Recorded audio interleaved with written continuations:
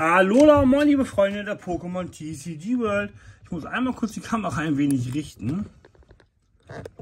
So, dass wir so ein bisschen auch nur das Pokémon-Stuff drauf kriegen. Ich denke, das sollte so erstmal okay sein. Ähm, und zwar haben wir jetzt, nachdem wir um 10 Uhr mit den Sohnemann die Pikachu-Tin geöffnet haben, wo übrigens noch eine wundervolle Pikachu-Promokarte mit Geschenk drin war.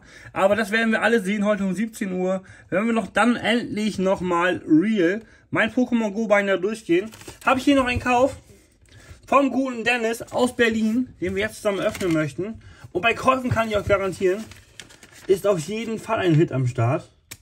Denn Käufe sind natürlich gezielt ähm, gesuchte Karten die ich äh, in meiner Sammlung für das dreisprachige Master Set Pokémon Go, so wie ich es beim Celebration auch geschafft habe, wo ich sehr stolz drauf bin, für mich selber, ähm, das Ganze auf drei Sprachen als Master abzuschließen. Natürlich fehlen mir da die Goldkarten, ähm, aber da die vom Preis doch auf jeden Fall eine ganz andere Liga waren, habe ich mir gesagt, wenn ich irgendwann mal durch Zufall darauf stoße, dann werde ich mir die holen. Aber jetzt zu dem Preis wo die im Netz angeboten werden, können die Celebration Goldkarten, ich glaube Glurak und Pikachu waren das, ähm, ruhig erstmal away bleiben.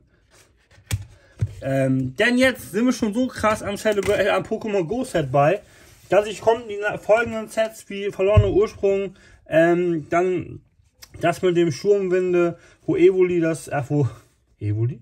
Come on. Vulpix das Chase Pokémon ist, ähm, natürlich Lugia, äh, Lugia Altart. Was bin ich denn los heute? Ähm, Komme ich da gar nicht mit, also wirklich äh, meine Sets voll zu sammeln.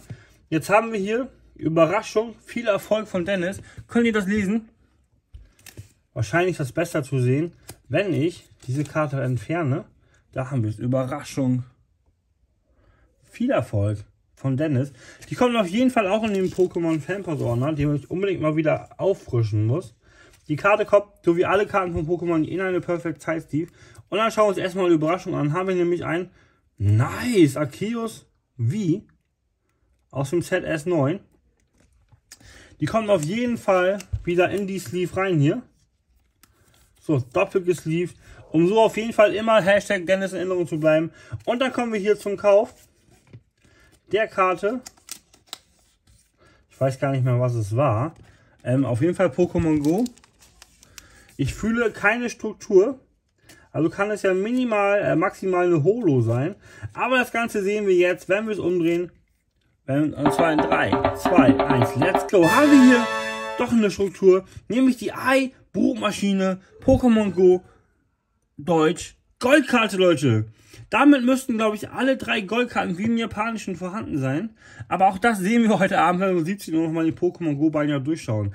Ich kann nur sagen, großen Dank an Dennis. Lasst einen Daumen nach oben da für Dennis. Abonniert gerne, wenn ihr nicht habt. Schreibt Kommentare. Lasst eure Einflüsse teilhaben äh, meines Daseins.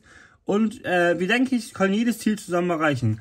Drum, let's go, come on and catch it all. Euer Pokémon.